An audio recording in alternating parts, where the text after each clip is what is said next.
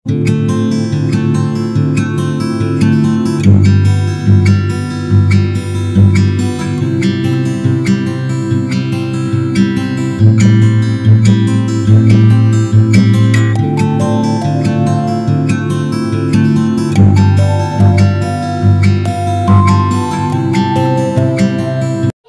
कुंडली का जो पक्का घर है बृहस्पति का है।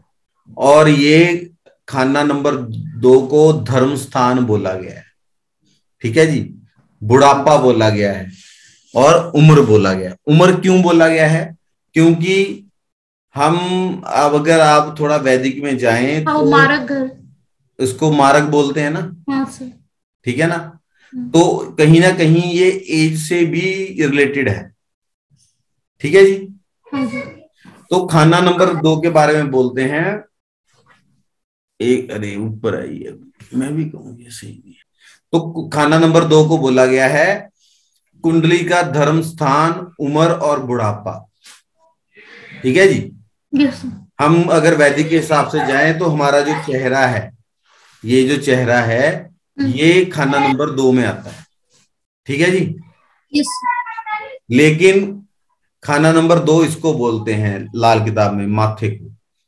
विजिबल है मेरा माथा दिखाई दे रहा हाँ है सर हाँ सर हाँ सर। ठीक है? इस माथे को बोलते हैं। ये खाना नंबर ग्यारह और खाना नंबर दो। दोनों है। ठीक है? लेकिन आगे मैं आपको बताऊँगा कि खाना नंबर ग्यारह क्या है और खाना नंबर दो क्या है। पूरा जो माथा है उसमें कौन सी जगह खाना नंबर दो की है और कौन सी जगह जो है खाना नंबर ग्यारह की है? ठीक है मैडम? यस ठीक है जी? तो आइए अभी हम यहाँ से स्टार्ट करते हैं। घर चलकर जो आवे दूजे ग्रह किस्मत बन जाता है। ठीक है जी? जो भी ग्रह दूसरे खाने में बन बैठा होता है वो हमारा किस्मत का ग्रह बन जाता है। ठीक है जी? यस खाली पड़ा घर दस जब टेवे सोया हुआ कहलाता है। अगर खाना नंबर दो में कोई ग्रह है या खाना नंबर दो है वो अगर खाना नंबर दस आपके टेवे में आपके जन्म पत्री में खाना नंबर दस जो है अगर खाली पड़ा हुआ है तो आपका खाना नंबर दो जो है वो सोया हुआ माना जाए। ठीक है ना जी? यस अब सोए हुए का मतलब क्या हुआ? एक्टिव नहीं होना। एक्टिव नहीं होगा लेकिन यहाँ पे मैं आपको एक चीज़ बता दूँ जो सोया हुआ ग्रह होता है वो जिस जिस घर में बैठा होता है वहाँ का इफ़ेक्ट तो देता ही है। ठीक है? क्या नहीं सर एक बार फिर से रिपीट कर। हम बोल देते ना कि ये ग्रह सोया हुआ है। हाँ। ठीक है? मतलब लेकिन वो ग्रह जिस खाने में बैठा होता है उसका इफ़ेक्ट तो वो देता ही है। ठीक है जी?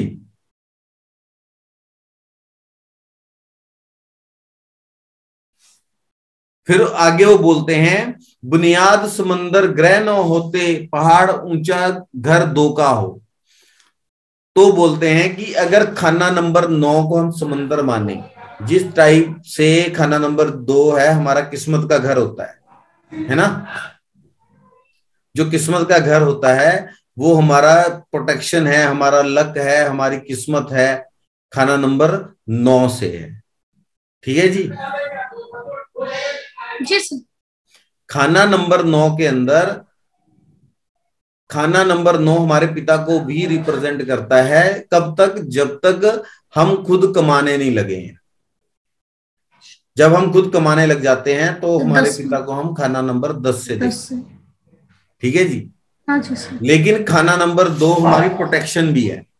हमें हमारे पिता भी समाज में इस जीवन में हमें प्रोटेक्ट करते हैं।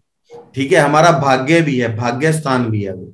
लेकिन अगर हम खाना नंबर नौ को समुंदर माने मतलब वो है नहीं है फॉर एग्ज़ाम्पल जैसे समुंदर में से हवा आती है पानी लेती है बादल बन जाती है फिर उसमें बारिश स्टोर में होती है है ना?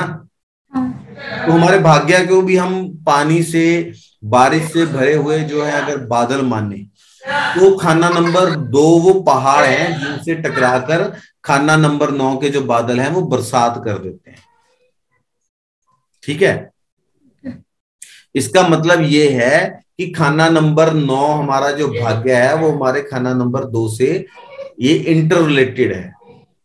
ठीक है जी? खाना नंबर दो का जो बेस होगा खाना नंबर दो हमारे अकोमुलेशन का भी है ना? क्योंकि हमारे ग्रहण करना भी है हमारे मुँह का भी है हम जो खा लेते हैं इनटेक जो पैसा हम जमा कर लेते हैं जो पैसा हम बचा लेते हैं। होता है ना? हाँ तो खाना नंबर नौ खाना नंबर दो की जो है वो बुनियाद होगा। बुनियाद मीन्स बेस होगा। ठीक है? क्लियर है? इसके बारे में कुछ पूछना है? पूछ लो। नो प्रॉब्लम ये चीज़ फंडामेंटल ये मतलब समझ में आ रहा है आपको ये चीज़? हाँ सर ठीक है ना? तो जो खाना नंबर नौ है वो बुनियाद होगा खाना नंबर दो की। कि हम खा कितना अकामुलेट कर सकते हैं। ठीक है? क्योंकि देखिए खाना नंबर दो का कारक भी बृहस्पति है खाना नंबर नौ का कारक भी बृहस्पति है। ओके? हाँ सर। तो आगे वो बोलते हैं चाल असर ग्रह दूजे बैठे जेर गुरु साया हो। जेर का मतलब होता है यहाँ हर वर्ड का मतलब है। जेर का मतलब होता है अधीन। ठीक है ना? चाल असर ग्रह दूजे बैठे। चाल मतलब अगर कोई भी ग्रह चलकर दूसरे ग्रह घर में आ जाता है दूसरे भाव में आ जाता है जेर असर गुरु साया हो तो वो गुरु के अधीन हो जाता है। ठीक है? मतलब वो गुरु के अंडर आ जाता है। तो सर ये जो चाल असर मतलब चलता है जो मतलब वर्षफल के लिए हुआ ना? नहीं ये मैडम ये जो इफ़ेक्ट है ये रूल है हाँ। कि अगर तो वर्षफल में आ जाए चाहे वो वैसे आपके दूसरे घर में नहीं बैठा तो हो। दूसरे ब- लग्न के समय जन्म के समय तो फिक्स रहता है वो तो जो है। वर्षफल में खाली चेंज होता है ना वो तो। मैम आप पैदा हुए आपके दूसरे घर में कोई प्लेनेट आ गया उस समय। हाँ। उस समय आपके सेकंड हाउस में कोई प्लेनेट है। हाँ। तो वो भी गुरु के अधीन होगा। और सपोज़ अगर नहीं और वर्षफल में है तो उसके लिए वो गुरु का असर होगा ना। हाँ अगर वो एक तो हो गया ये देखिए इसको मिक्स कीजिए इसको अलग अलग रखिए। एक तो है मान लीजिए आपका जन्म हुआ। ठीक है? हाँ सर आपका जन्म हुआ उस जन्म पे आपके खाना नंबर दो में कोई ग्रह है।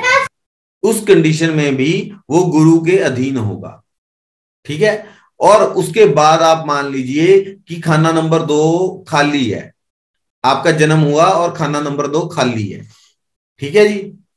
हाँ सर तो अगर वर्षफल में भी कोई ग्रह आ जाता है तो हाँ, तो वो गुरु के अधीन हो जाता है और उसका जो फल है वो गुरु खाना नंबर दो का दो का जो फल होता है उस पर गुरु का भी इम्पैक्ट रहता है कि आपकी जन्म कुंडली में या आपके वर्षफल में। गुरु की पोजीशन क्या है? बृहस्पति की पोजीशन क्या है? ठीक है जी? यस सर हम इसको आगे एक्सप्लेन भी करेंगे। ठीक। ठीक है? ये दोनों चीज़ें अलग अलग आपको क्लियर होगी? हाँ जी हाँ जी सर ठीक। हवा बारिश जो नौ से चलती टक्कर दूजे का खाती हो।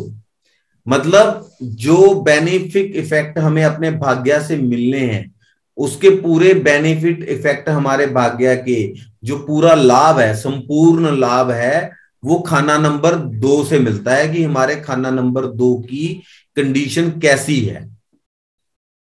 ठीक है जी? हम, हमारा भाग्य बहुत अच्छा है। उच्च का प्लेनेट बैठा हुआ है। लेकिन उस भाग्य का हम कितना उपयोग कर पाएँगे? कितना उस भाग्य का हम बेनिफिट ले सकते हैं? हमारा लक कितना अच्छा है? उसका हम बेनिफिट कितना ले सकते हैं? कितना वो हमें बेनिफिट देकर जाएगा? वो डिपेंड करेगा on the position of second house second house कैसा है? चाहे वो खाली है चाहे उसमें कोई प्लेनेट बैठा हुआ है उसकी कंडीशन कैसी है फिर बृहस्पति की कंडीशन कैसी? है ठीक है जी? यस इसको हम ऐसे कर दो पॉइंट दो दो पॉइंट ठीक है जी? हाँ आठ पड़ा घर जब तक खाली असर भला ही देती हो। अगर खाना नंबर दो में खाना नंबर आठ खाली है ठीक है जी? नहीं समझी सर। आठ पड़ा घर जब खाली नहीं समझी आप आठ नंबर भी खाली हो। आठ पड़ा घर जब तक खाली असर भला ही देती हो। मतलब जब तक खाना नंबर आठ खाली रहेगा तब तक जो है खाना नंबर दो का इफ़ेक्ट अच्छा आएगा। समझ गए?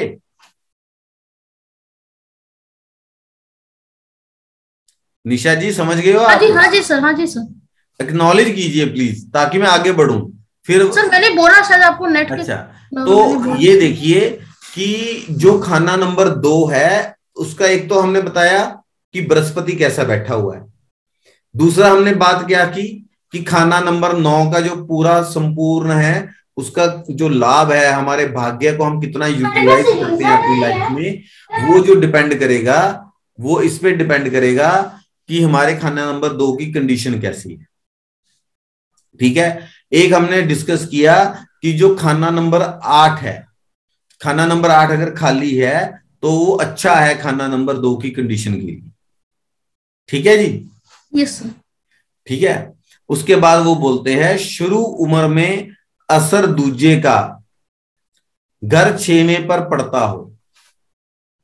अब यहाँ पे दो मत हैं ठीक है? जो एक बुक में भी लिखा हुआ है और एक यहाँ पे तो पोएट्रिक फॉर्म में उन्होंने बोला है कि जो सेकंड हाउस का जो सेकंड हाउस का जो इफ़ेक्ट है वो उम्र की स्टार्टिंग में उन्होंने लिखा है शुरू उम्र में ठीक है? वो छठ- छठे घर पे भी पड़ता है। सिक्स हाउस के ऊपर भी सेकंड हाउस का इफ़ेक्ट आता है। लेकिन जहाँ इस बुक में भी आगे एक्सप्लेन किया गया है या आगे कई बुक्स के अंदर जो एक्सप्लेन किया गया है उसमें यह उसमें उम्र को मेंशन नहीं किया गया है। वहाँ पे ये बोला है कि जो खाना नंबर दो का असर है वो खाना नंबर छह है। ठीक है जी? यस लेकिन मैं ये मान के चलता हूँ कि अगर अ, मतलब हम देखें तो यहाँ पे जो हमें पंडित रूपचंद जोशी जी ने बोला है हमें उसको ज़्यादा ऑथेंटिक मानना चाहिए। ठीक है जी? और अगर इस चीज़ को ज़्यादा ऑथेंटिक मानने की जगह मतलब हम अपने पास जो बर्थ चार्ट आता है जब हम उसको एग्जामिन करते हैं तो हम पहले जो इस चीज़ को तरजीह देंगे कि पंडित जी क्या बोलते हैं। ठीक है? और उसके उसके बाद फिर हम देखेंगे कि मतलब चार्ट को हम उसके हिसाब से एग्जामिन करने की कोशिश करें। ठीक है? शुरू उम्र में जाति असर हो नेक जो अपना वक्त बुढ़ापे बढ़ता। हो अगर खाना नंबर दो अच्छा है ठीक है जी?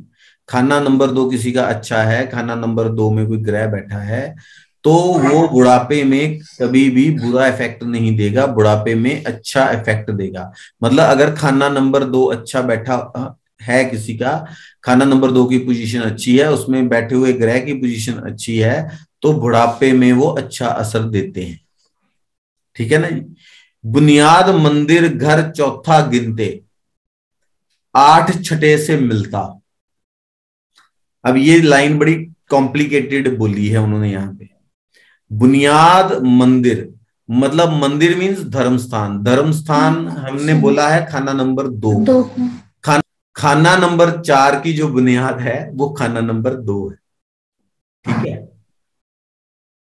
क्लियर यस खाना नंबर नौ जो है वो खाना नंबर दो की बुनियाद है। खाना नंबर जो दो है वो खाना नंबर चार की बुनियाद। ठीक है ना जी? यस आठ छठे से मिलता है। अब आठवां घर दूसरे को देखता है दूसरा घर छठे को देखता है। ठीक है? तो ये तीनों घर का असर जो है खाना नंबर दो से संबंध होके ये आपस में मिल जाता है। क्लियर हुआ? जी सर। इसमें कोई कोई डाउट है तो आप अभी पूछ लो। नहीं नहीं सर। ठीक है ना? यस खाली होते गुरु मंदिर टेवे असर रूहानी उमदा। मतलब खाना नंबर आठ के साथ साथ अगर खाना नंबर दो भी खाली है तो पूरा मतलब अच्छा इफ़ेक्ट है उसको अच्छा माना गया। ठीक है जी? यस सर अब देखिए उन्होंने यहाँ पे यही बात बोली है उसी चीज़ों को पॉइंट्स को एक्सप्लेन किया है। खाना नंबर दो हमेशा नौ के ग्रहों या नौ खाना नंबर नौ के ऊपर मतलब जो है उसका बेस जो है खाना नंबर नौ को गिना जाएगा। ठीक है? और जो खाना नंबर चार होंगे उसकी जो बेस है वो खाना नंबर दो होगा ठीक है और जो खाना नंबर आठ है वो खाना नंबर दो को देखता है जो खाना नंबर दो है वो खाना नंबर छह को देता है इसी तरह खाना नंबर दो के दो से खाना नंबर छ और खाना नंबर आठ का आपसी संबंध बन जाता है थ्रू खाना नंबर दो ठीक है जी जी नहीं समझी ये बात है वो फिर से रिपीट देखिए उसने पॉइंट नंबर थ्री को पढ़ी अभी आप पढ़ सकते हैं ना? हाँ खाना नंबर आठ देखता है खाना नंबर दो को। दो को। खाना नंबर दो देखता है खाना नंबर खाना नंबर छह को। इसी तरह खाना नंबर दो से खाना नंबर आठ का और खाना नंबर छ का आपसी संबंध बन गया। दोनों का संबंध खाना नंबर छ का और खाना नंबर आठ, का दो से बन है वो खाना नंबर दो से, से बन अच्छा। ठीक है? हाँ दूसरी बात उन्होंने बोली कि खाना नंबर आठ खाली हो तो खाना नंबर दो उम्दा। उम्दा मीन्स अच्छा होगा। लेकिन अगर खाना नंबर दो भी खाली है तो पूरा ही अच्छा है।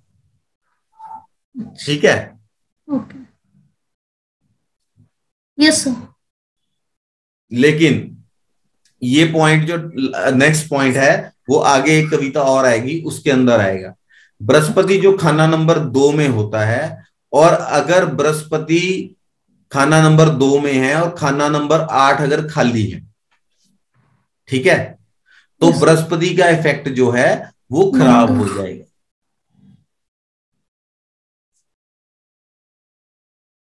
समझे इस बात को? नहीं क्यों होगा सर? बृहस्पति की है। ये इसका इसका क्या बोलते हैं लाल किताब का प्रिंसिपल है ना ये? वी आर डूइंग ग्रामर हम ग्रामर क्या होता है? रूल्स एंड रेगुलेशन उसने ये यही लिखा है कि बृहस्पति अगर खाना नंबर दो में हो और खाना नंबर आठ खाली हो तो बृहस्पति की मंदी हवा होगी। मंदी हवा मीन्स उसका जो इफ़ेक्ट है वो खराब होगा।